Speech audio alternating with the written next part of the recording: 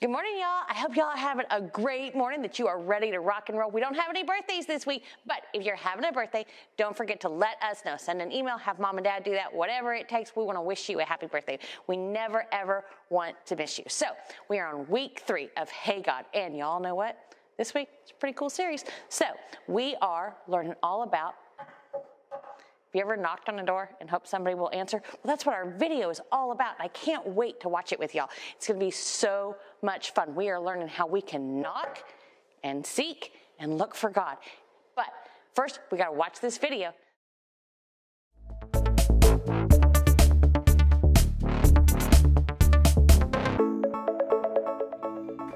In a book of the Bible called Matthew, we can read what Jesus said to a huge crowd that had gathered to hear him talk. And in Matthew 7 7 through 9, we can see what he had to say about praying. Jesus said, Ask, and God will give to you. Seek, and you will find. Knock, and the door will open for you. We can ask God for anything. Yes, anything. We can ask Him to protect our family.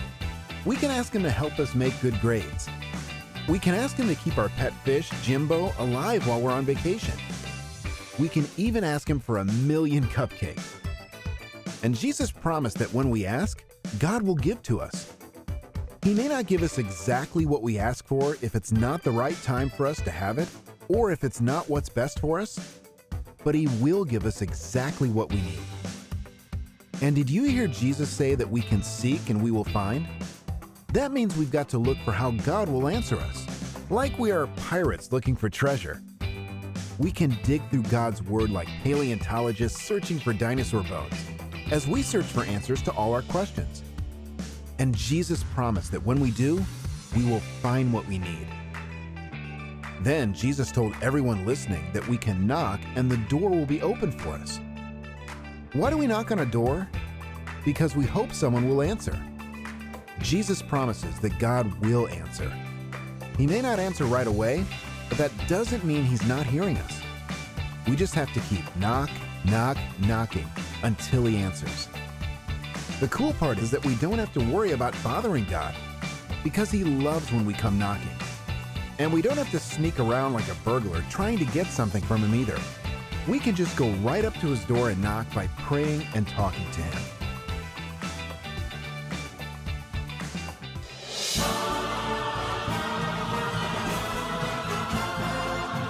And now a word from the jokester. Knock knock. Who's there? Dishes. Dishes who? Dishes me. Who are you? Knock knock. Who's there? Impatient pirate. Impatient pirate. Arr! Knock knock. Who's there? Tank. Tank who? You're welcome.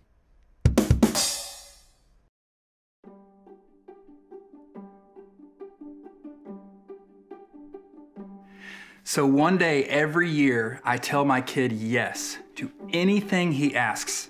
He always comes up with some fun things to ask me for. So let's see what he thinks of today. Morning, buddy.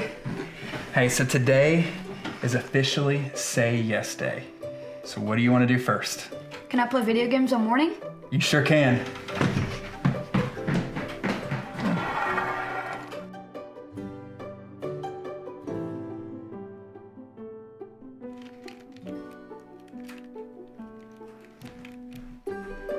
All right, what's next?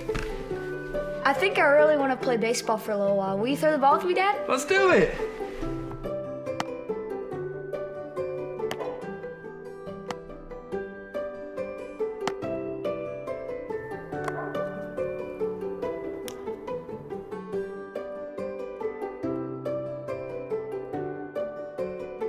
Hey, Dad, can I please go down the big hill on my scooter? Please?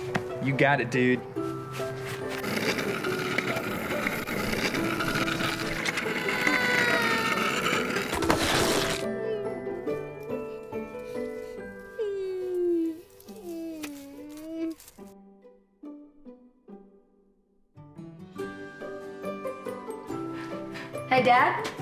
Hey, can I have a whole carton of ice cream for dinner?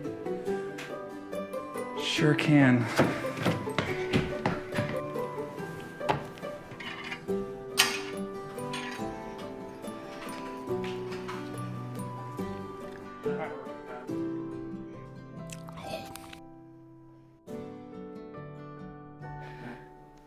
Say yes day is the best day. Oh no, I think I might be sick. You know, I love saying yes to my son. It brings me so much joy to see his face light up when he gets to do something that he wants. I always want to do good things for my son, but as you just saw, if I only ever say yes, it's not really good for him. There are some things that he wants to do, like ride his scooter down a super steep hill. It's just not what's best. So I have to say no, sometimes because I know some things that my son doesn't know. And the same is true of God, but even more so. Sometimes God will tell us yes because He wants to see us full of joy. But sometimes God's going to tell us no.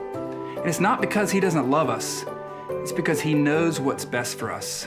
So now, I better go make sure He doesn't need something for that bellyache.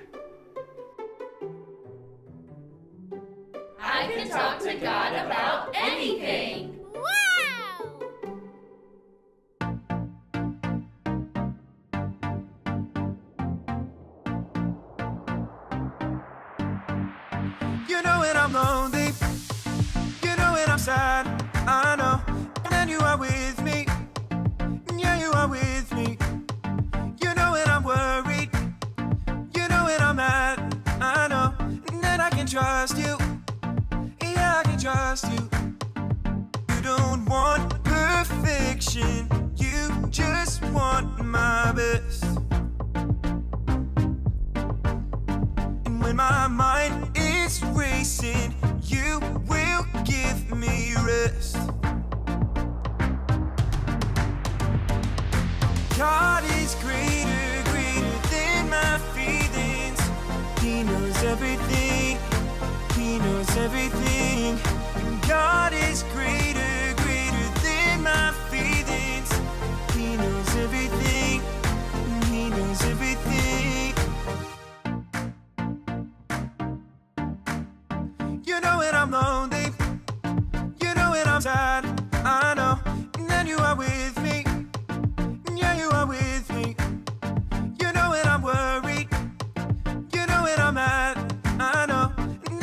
trust you, yeah, I can trust you. You don't want perfection, you just want my best. And when my mind is racing, you will give me rest. God is greater, greater than my feelings. He knows everything, everything. God is greater,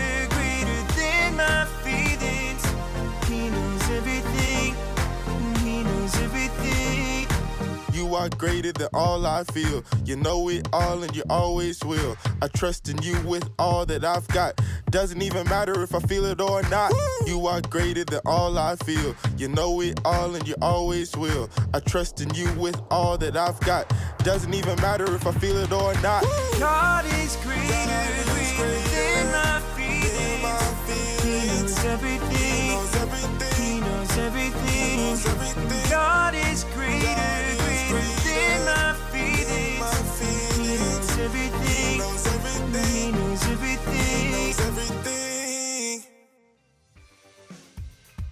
Right after Jesus told the crowd to ask, seek, and knock, he said, Do any of you have a son? The thing is, Jesus already knew that there were plenty of parents in the crowd, but he wanted them to think about all of the awesome things they would do for their kids if they could. Jesus told them, What would you do if your son asked for bread? Would you give him a rock? Or if your son asked for a fish, would you give him a snake? Jesus said that even though they aren't perfect, they still know how to give good gifts to their children. Then he told them, So surely your heavenly Father will give good things to those who ask him. So we can ask God for literally anything. We can read the prayers of people throughout the Bible and see that they prayed for all sorts of things. But the one thing they had in common is that each talked to God about things they cared about. like Nehemiah, who asked God to help him talk to the king about something that was bothering him, or Solomon, who prayed for wisdom. Moses even complained, and God still listened to him. And then there's Joshua, who prayed for the sun and moon to stand still in the sky. Oh, and Jesus prayed and thanked God for some bread and fish that he used to feed the crowd listening that day. See, we can pray about anything.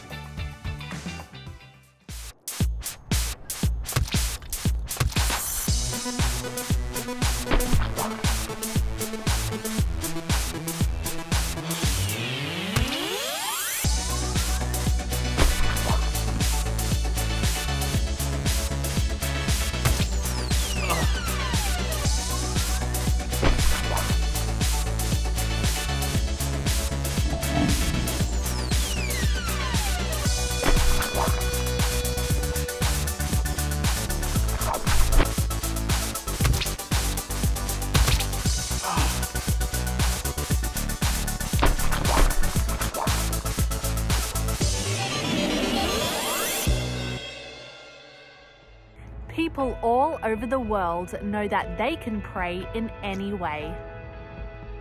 Jere, dankie dat jy my liefhet. Marigi anelengal sobe anelengal sobe banjingal anelengal banjen kashavi klale. Dieu, merci pour ton amour envers moi. भगवान मुझे प्यार करने के लिए धन्यवाद 神様私を愛してくださってありがとうございます Emitei diseni merci dikasumo e kanusa nomo. tata nzambi matondo mingi muke na kuvutula na nge samu na luzolo yange na katikati ya kizingu ya munu nyonso पकाई का चपाई के निलम से धन्यवाद प्रभु मलाई प्यार करनेलाई Boże, dziękuję, że mnie kochasz. Olá, Deus. Obrigado por me armar. baba nzapa singila mingi tene ti nzoni ti mo na ya fini ti mbi oh modimo wa ka ke a leboga go nrata ga gago o modimo ke lebogela lerato la gago Gud, tack för att du älskar mig. தேவனே நீர் என்னை நேசிக்கிறதினால் உமக்கு நன்றி Cảm ơn Chúa vì đã yêu con. bawo ngiyabulela ukuze ukuba uze wangithanda kwaze wafiyelela kule siqingathe engikusona Hey God, thank you for loving me. Amen. I can talk to God about anything. Wow! Good gift, bad gift.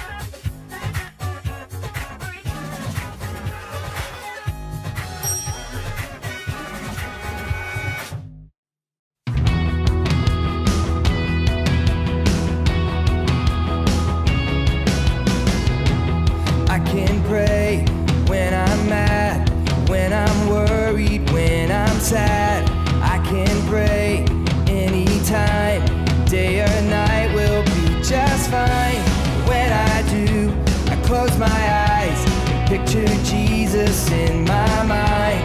I can ask for what I need. I can trust He's listening. I won't worry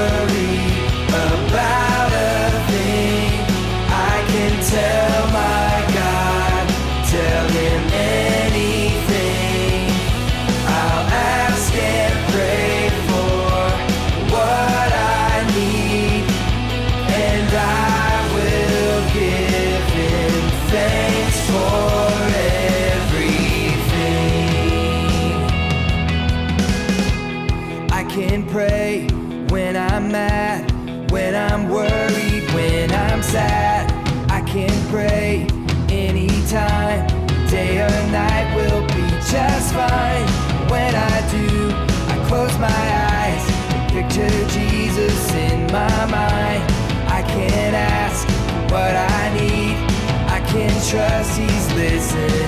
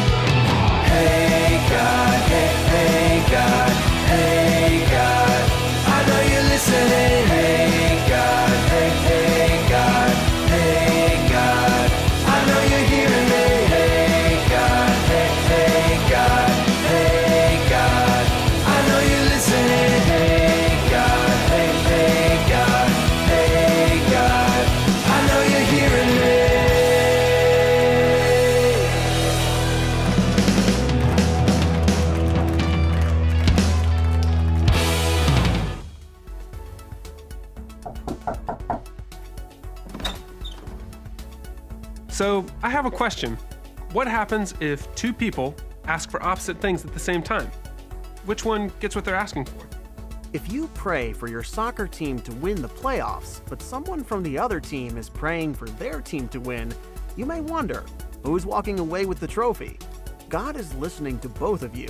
God is able to do anything we ask of Him, but it doesn't necessarily mean He will. Sometimes God is going to answer with a yes, while other times He's going to answer with a no. You may even get a not right now from God every once in a while.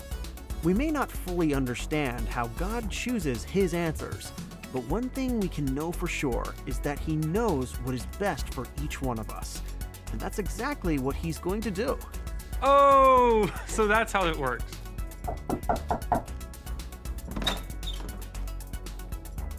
All right, I've got to ask what happens if I don't pray?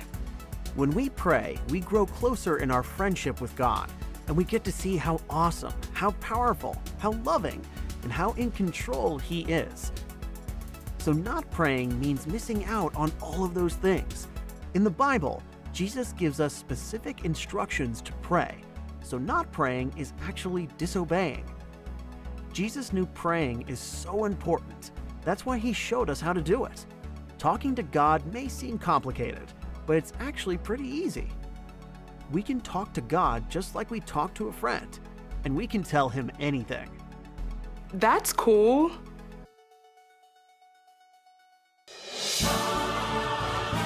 Here with another word, I present to you the jokester. Knock, knock. Who's there? Wah. Wahoo! Wahoo! What are you so excited about? Knock, knock. Who's there? Little old lady. Little old lady who? Say what? I didn't know you could yodel. Little old lady who. In case you missed it, here's what you need to know I can talk to God about anything.